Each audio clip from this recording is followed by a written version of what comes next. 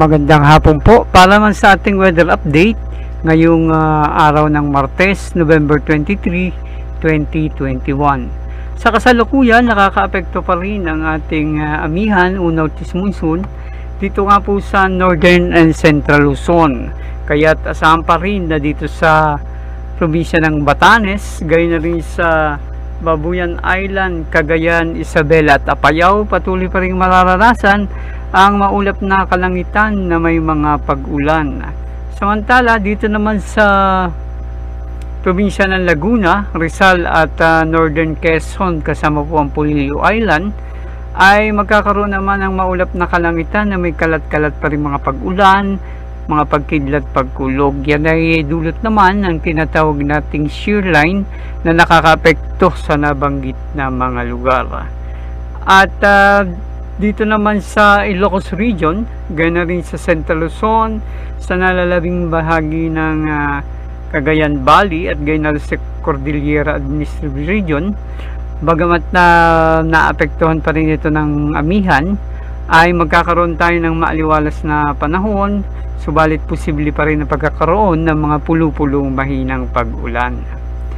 At ah, para naman po sa Mindanao, ano, dito sa dahil meron tayong intertropical convergence zone na nakakaapekto sa Mindanao, dito sa probinsya ng Caraga, Davao Oriental at ah, Davao de Oro, magiging maulap ang ating kalangitan na may kalat-kalat na mga pag-ulan at mga pagkidlat pagkulog na dulot nga po ng ating intertropical convergence zone. Samantalang sa Metro Manila naman, sa narating bahagi ng ah, bansa, magiging maaliwalas naman ang ating panahon, subalit ah, posible pa rin ang mga pagkakaroon ng mga panandali ang buhos ng ulan na dulot pa rin ng ating mga localized thunderstorms.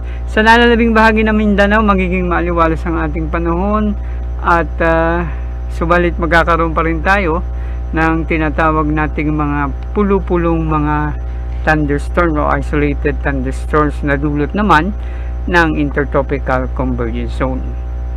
At sa susunod na dalawa hanggang tatlong araw, wala po tayong inaasahang sama ng panahon na posibleng makaapekto sa loob ng ating Philippine Area of Responsibility.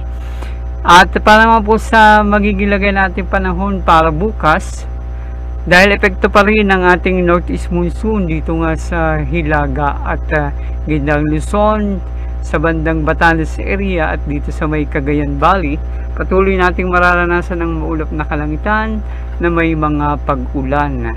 Dito naman sa Bicol region, magiging maulap ang ating kalangitan na may kalat-kalat na mga pag-ulan at mga pagkidlat pagkulog na epekto pa rin ng tinatawag nating shear line. Sa lalabing bahagi ng Luzon, magiging maliwalas ang ating panahon kasama ang Metro Manila, subalit posible pa rin ang pagkakaroon ng mga panandaliang busang ulan na dulot pa rin ang ating mga localized thunderstorms. Para naman sa ating mga temperatura, dito naman sa Metro Manila at gayon rin sa Lawag City, pinakamataas nating temperatura, posibleng umabot sa 31 degrees, na rin sa Legazpi City. Samantala, dito naman sa Kalayaan Island, sa Puerto Princesa, ay pinakamataas nating temperatura, posibleng umabot po naman sa 32 degrees Celsius. Sa Tagaytay, ang ating temperatura naman maglaro po sa pagitan ng 22 hanggang 30, 30 degrees, gay na rin dito sa Tugigaraw City. Sa Baguio City, mananatiling may kalamigan ng ating temperatura, maglaro po sa pagitan ng 16 hanggang 25 degrees Celsius. At uh, para bukas naman dito nga sa Kabisayaan, dahil may epekto pa rin ng tinatawag nating shear line dito sa Eastern Visayas, ay uh, magiging maulap ang ating kalangitan na may kalat-kalat na mga pag-ulan at mga pagkidlat pagkulog. Ang ating temperatura maglaro po sa 26 hanggang 32 degrees Celsius. Samantala, sa nalawing bahagi ng Kabisayaan, magiging maliwalas ang ating panahon na may tsansa pa rin ng mga isolated thunderstorms. Ang ating temperatura sa Iloilo, 26 hanggang 32 degrees Celsius at sa Cebu City, 25 hanggang 31 degrees Celsius. Sa buong Mindanao naman ay magiging maaliwalas ang ating panahon at asahan pa rin na magkakaroon pa rin tayo ng mga isolate, isolated thunderstorms lalo na sa dakong hapon at gabi. Ang ating temperatura dito po sa Zamboanga City maglaro sa pagitan ng 24 hanggang 34 degrees Celsius, sa Cagayan de Oro 24 hanggang 31 degrees Celsius at sa Davao City 26 hanggang 32 degrees Celsius. At uh, para naman po sa ating mga mangisda, gamit po ng maliliit na sasakyang pandagat dahil may kalakasan pa rin ang ating amihan ang ating uh, gale warning nakataas po yan sa baybayang dagat ng Batanes, Cagayan, northern coast ng Ilocos Norte, Ilocos Sur, La Union, Pangasinan, western coast ng Ilocos Norte. Malaki po ang alon sa nabanggit na mga lugar kaya pinapayuhan pa rin ang ating mga mangisda na magpumalaot sa nasabing mga baybayang dagat. Samantala, silangang baybayang dagat naman ng uh, Hilaga at gitnang Luzon ay magiging moderate to rough o katamtaman hanggang sa maalon po at gay na rin dito sa may bandang uh, Mindoro at uh, bandang Bataan magiging katamtaman hanggang sa maalon ng ating karagatan. Sa nalalabing mga baybaying dagat naman ang ating karagatan magiging uh, banayad hanggang sa katamtaman po naman ang pag-alon. At silipin natin ang magigilagay ng ating panahon susunod na tatlong araw sa Metro Manila simula Thursday hanggang Saturday ay magiging maliwalas pa rin ang ating panahon na may chance pa rin ng mga isolated thunderstorms. Ang ating temperatura maglaro po sa pagitan ng 25 hanggang 33 degrees Celsius. Sa Baguio City bukas meron pa rin tayong inaasahang mahihina mga pag-ulan na epekto pa rin ng ating amihan. Ang ating temperatura 15 hanggang 23 degrees Celsius. At sa Friday at Saturday, magiging uh, maliwalas ang ating panahon na may mga mahinang pag-ulan pa rin. Ating temperatura 16 hanggang 24 degrees Celsius. Sa Legazpi City, susunod na dalawang araw magiging maulap ang ating kalangitan.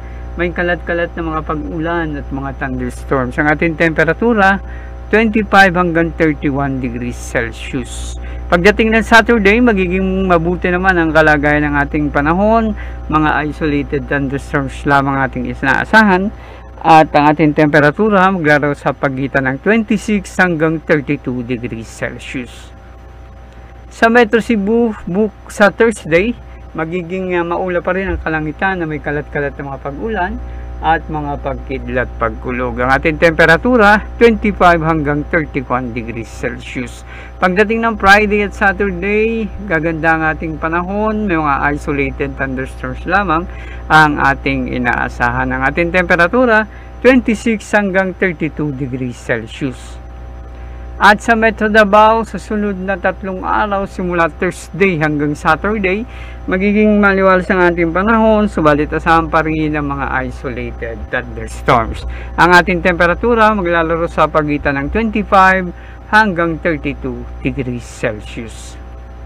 At ang ating araw po ay lulubog mamaya sa ganap na 5.24 ng hapon at muli po itong sisikat bukas naman sa ganap na 6.01 ng umaga. At para po sa mga karagdagang impormasyon, mangyari lamang na mag-log on sa mga sumusunod sa ating Facebook and Twitter account, DST underscore Pagasa, sa ating mga weather report sa YouTube, DST Pagasa Weather Report at sa ating pag website sa bagong.pagasa.dst.gov.ph At yan po muna ang latest mula din sa Forecasting Center ng Pagasa DST. Muli isang magandang hapon ng inyong forecaster, Meno Mendoza.